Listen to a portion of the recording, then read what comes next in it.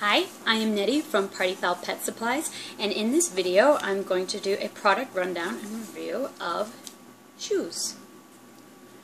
Usually the first question I get um, is, what are duck shoes for? Um, these shoes are intended for waterfowl, like ducks and geese, and, um, and chickens, as an aid to help recover from injury or illness or infection. These are a medical item and are intended um, to be used in, in helping get that fowl back to back to health. These are not really a fashion item and shouldn't be worn just for fun, um, but they should have a use. Now, there are three different styles of shoes. There is the closed toe duck shoe, then there is the open toe duck shoe, and then chicken shoe. Now, these shoes are not just limited to ducks, geese, or chickens. I've actually made shoes for a turkey, um, for peacocks, flamingos, and even a, once a lanner falcon. And what these shoes do is they help protect and cushion and just kind of hold bandages to a foot while getting better. So I first came up with the idea for shoes when my duck Mingmei had contracted bumblefoot and it was really hard to keep her foot clean and to keep it bandaged. So I tried to figure out a way to keep her bandages on her foot to keep that infection from coming back. Um, she did have surgery to have the bumble or the infection um, removed from her foot, and it was really hard to bandage it. Um, so I made the very first duck shoe, actually, out of a beer can cozy, which had this um, insulating foam that I had pretty much deconstructed and put back together in the shape of her shoe.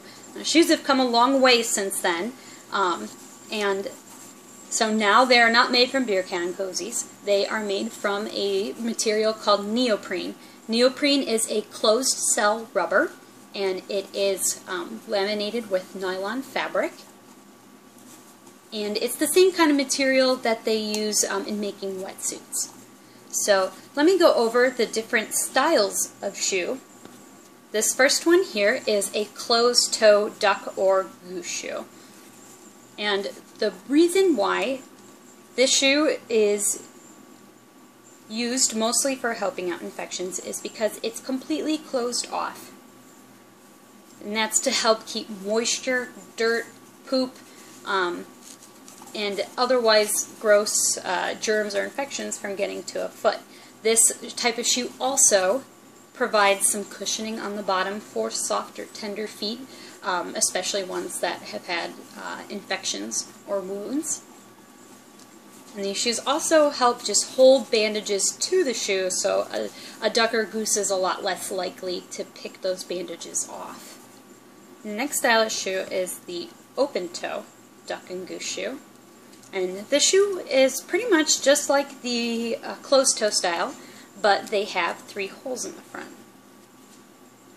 And these three holes in the front are for their toes. This is particularly useful for animals who um, are outdoors, animals who might swim with the shoes on, or um, or even some roosting ducks such as Muscovies. So this style of shoe is not really recommended if your duck has a current open wound or infection as they're not fully protecting the foot because it does have these open toes here. So this shoe tends to work out well for animals who need that extra cushioning or protection from rocks or debris um, while still protecting the shoe but not without completely closing the shoe off. The next style of shoe I got here is a chicken shoe. Now, these shoes um, can work for other animals um, like turkeys or guinea fowl, um, but these these ones in particular are for chickens. You can see it's it's much like the open toe shoe, but it has these three openings in the front for chicken toes. Now, all shoes have a little hole in the back for their back toe. Most breeds of ducks, geese, and chickens um, have just the one toe in the back, so you only need to worry about that hole in the front. Um, some breeds do require a special design, um, which is possible. I can definitely help you guys in making a style of shoe that will work best for your pet. Now, for the shoes, I would like to go over what the different parts are. So shoes are all made by me on my sewing machine. And there's four parts to a shoe. There is the top of the shoe base, the sole of the shoe, the foot strap, and the ankle cuff. So the top of the shoe is meant to protect and cover the top of the foot. It also has Velcro, so that way it can be opened, so the foot can fit inside. It is attached to the sole of the shoe. The sole of the shoe is um, a grippy, rubbery, and texturized version of the foam. And what that does is it helps protect the animal from slipping or falling. And then the foot strap is connected to the bottom of the shoe and wraps around to the front of the shoe to be Velcro to help keep it closed. And then connected to everything else is the ankle cuff. Now the ankle cuff has Velcro on the front and then a little Velcro tab on the back. And that you would wrap around the ankle and attach like so. And just like I had mentioned before, has the hole in the back for the back toe. Now, shoes are definitely a great thing to keep in your first aid kit because um, you never know when foot issues or injuries might come up. Um, however, these shoes do not replace good vet care.